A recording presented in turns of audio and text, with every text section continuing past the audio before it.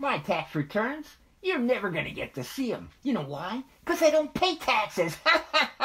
I'm rich, and I got rich by keeping all the money, keeping it and cheating.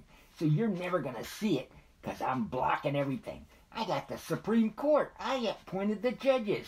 The fix is in. The fix is in. Putin and I, we're richer than my God himself.